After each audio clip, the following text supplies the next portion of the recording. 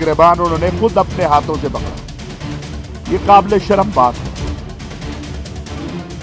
साहब इस काबल नहीं रहे कौंसल ऑफ़ इस्लामी आइडियालॉजी के चेयरमैन कर सकते। इस्लामी नजरियाती कौंसिल के रुकन सईद अहमद गुजराती ने इजलास के बाद मीडिया से बातचीत में बताया कि मौलाना ताहिर अशरफी ताखीर से इजलास में आए और वजाहत चाही कि मुल्क में फिरका वारियत के खात्मे के लिए उनकी जबता इखलाक के साथ कादियानियों के काफिर या मुर्तद होने का मसला भी एजेंडे के साथ मुंसलिक है।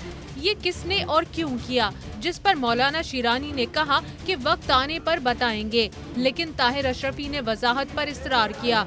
इस दौरान तलखी बढ़ी, इजलास मुलतवी कर दिया गया। बाद में मौलाना शिरानी ने ताहिर अशरफी का गिरेबान पकड़ लिया। मौलाना सईद गुजराती ने कहा कि इस वाक़े के बाद मौलाना शिरानी इस्लामी नजरियाती कौंसिल की सरबराही के अहल नहीं रहे। मैं समझता हूँ मौलाना शरानी साहब इस काबल नहीं रहे कि वो कौंसल ऑफ़ इस्लामिक आइडियालॉजी के चेयरमैन ही कर सकते अल्लामा ताहिर अशरफी ने वजाहत की कि वो अपनी नशिस्त पर बैठे थे कि मौलाना मोहम्मद खान शिरानी ने आकर गिरेबान पकड़ा।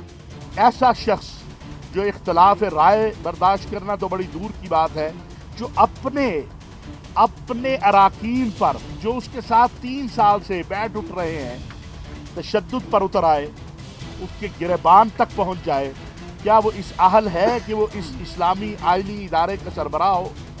अलामा ताहिर अशरफी ने सवाल किया कि क्या ऐसे शख्स को इस्लामी नजरियाती कौंसिल का सरबरा होना चाहिए?